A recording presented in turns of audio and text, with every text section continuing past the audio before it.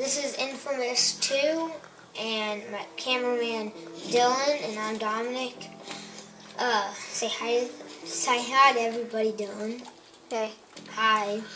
And we are going to show you how to get in to Zeke's train car that is located in Floodtown. This is New Marais. This is Floodtown.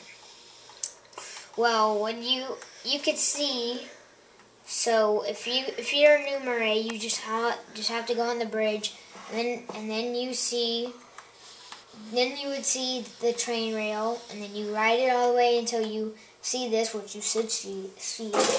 Well, anyways, when you get to it, I'm right here on top of it. Anyways, when you get on, when you get there, you need to go to the back of it See, so there, and just jump on the on this part. Just jump right here.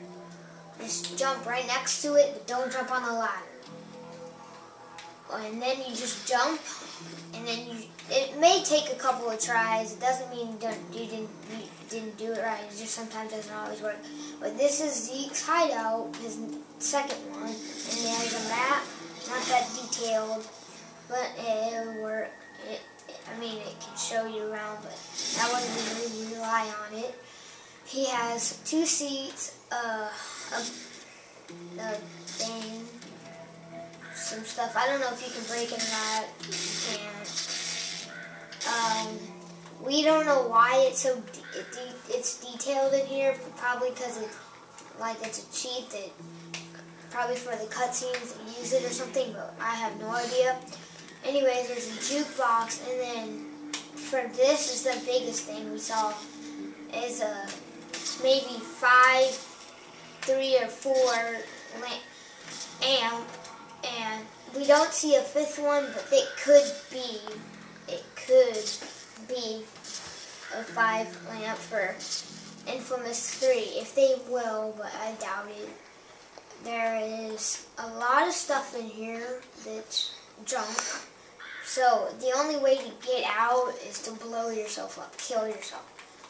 And if you find any way, any way to get out without killing yourself, please comment and we'll, we'll get, give you credit for helping us a lot and how to get in how to get out of it without dying. So I hope you like this and rocket's the best thing to kill yourself with, but if you don't have rockets, then use grenades. And I, I guess you have to have grenades or rockets to get out, because um, you'd be stuck in there.